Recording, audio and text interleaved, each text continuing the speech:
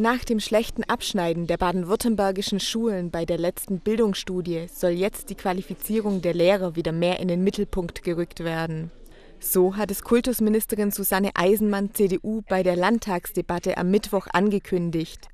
Zudem soll die Grundschulempfehlung neu gefasst und die Beratung der Eltern verstärkt werden, wenn es um die Entscheidung über die weiterführende Schule geht die Eltern seien aber auch in der Pflicht, ihren Kindern die Bedeutung von Schule klarzumachen und eine gewisse Wertschätzung dem Lehrer gegenüber zu vermitteln